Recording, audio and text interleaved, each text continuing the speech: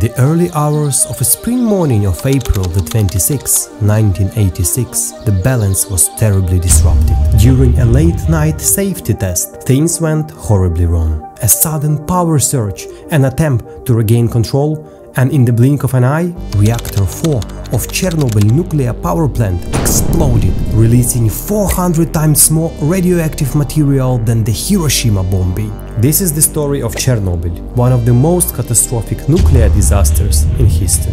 The catastrophe began as a safety test. Engineers at Chernobyl's reactor 4 aimed to simulate a power loss, testing whether the turbines could produce enough energy to keep the coolant pumps running until the emergency generators were activated.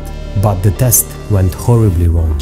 A ticking time bomb of unforeseen disaster was moments away from unleashing an invisible, deadly force. A series of critical errors compounded. First, the power reduction of the reactor was executed poorly, causing it to become unstable. The operators, unaware of the reactor's flawed design, continue with the test. At 1.23 am, operators attempted to shut down the reactor. But a design flaw in the control rods caused a dramatic power surge instead.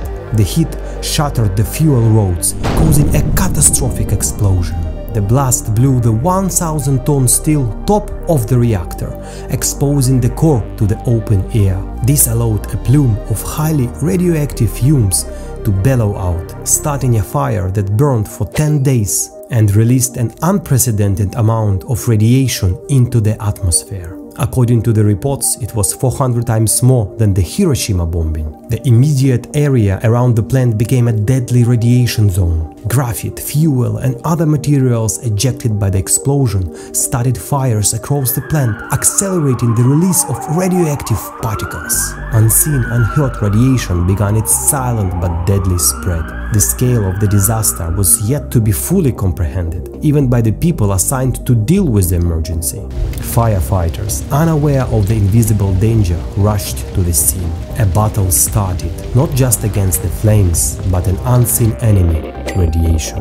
As the reactor burned, the Soviet Union government's response was shrouded in secrecy. Initial reports downplayed the disaster, leaving the world and its own people in the dark about the scale of the catastrophe. The residents of nearby town Pripyat woke to a normal day, unaware to the invisible cloud hanging over them. Within hours, the reality of radiation sickness began to set in, a silent, relentless killer. Finally, the evacuation order came. A city of nearly 50,000 was abandoned in hustle, leaving behind a ghost town trapped in time. Among the tragedy, stories of heroism emerged. The Chernobyl liquidators, men and women, tried bravely to stop the disaster despite deadly radiation levels, sacrificing their health and lives for the greater good. The fallout of Chernobyl was not contained by borders. Radioactive particles drifted across continents, a wake-up call to the world about the potential danger of nuclear energy.